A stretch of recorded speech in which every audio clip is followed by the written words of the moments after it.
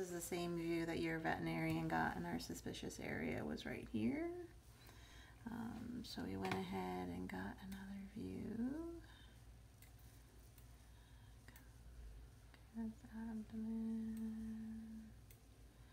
Those are her limbs, and you can see what's happened to her bone. We have excess um, osteoclast deposition on all her peripheral bones, and that's what's leading to that thickening. Would be the same way. Those are her rear limbs.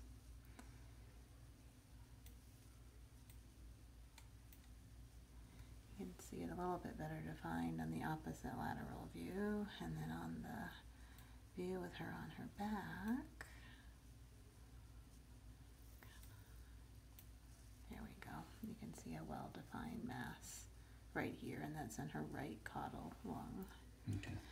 Um, to determine, to try to determine the tumor type um, via ultrasound, we can go ahead and poke a needle um, into that and aspirate cells to give you a better idea if it's a pulmonary carcinoma, bronchogenic carcinoma versus osteosarcoma.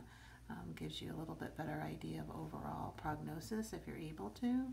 Um, but the def definitive treatment, um, no matter what, um, would be to go in and resect that right caudal um, lung lobe. May or may not be curative, um, depending upon if there's microscopic metastasis. We don't see anything obvious um, in the rest of the remainder of her lung, but sometimes there can be microscopic metastasis. Okay. Um, we also would want to stage her abdomen to make sure, uh, via ultrasound, to make sure we didn't see any tumors in her abdomen. Um, the cost of aspirating um, that would be $100. Um, the cost of an abdominal ultrasound would be $320 to do that.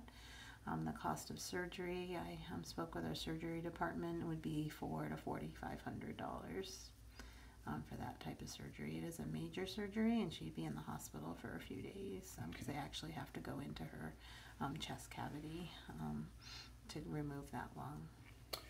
And then, uh, like, what if you don't do the surgery? What's the prognosis for that, or like, Uh, what's the the treatment to like keep her comfortable? or- Um, it'd be pain medication um, and an injection of pamidrin- pamidronate. They actually come in in the hospital, and the pamidronate does nothing for this tumor. It helps with the peripheral limb swelling to reduce that osteoclast um, formation development in the peripheral limbs. And um, that's done um, about once every 21 to 28 days, and the cost of each treatment is $350 for that. okay.